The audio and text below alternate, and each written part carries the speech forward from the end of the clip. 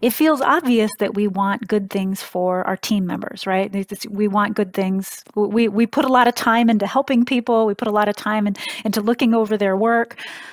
However, research shows that people, employees tend to assume bad intentions on their managers. Not good intentions but they people assume a lot more bad intentions than good intentions. And so, and some of the bad intentions that they assume are things like you know you just wanted to make me look bad. You wanted to make yourself look good, good. Yeah. right you you can't stand that you that I know more than you do, right? I mean, there are like so many so many of these uh, attributions that people make, um, and what's really fascinating is that people don't tend to make positive attributions. They don't tend to tell a positive story like, "Oh, he, my manager wants good things for me." People right. don't t- people don't tend to tell themselves that story. They only tend to tell themselves the negative stories.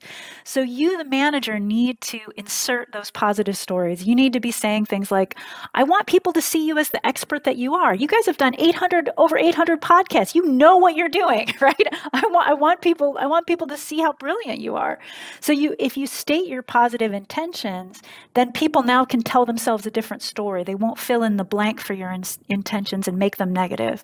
So this is just um, it. I've got to admit, it feels artificial when I do it in feedback conversations. It it doesn't come naturally. It feels like I'm I'm doing a little script, right? But things that I'll say would be things like, I want good things for you. Um, I know you're working really hard and I want other people to see how hard you're working. Um, I want your hard work to pay off. These are just really simple things that you can say before you give the bad news.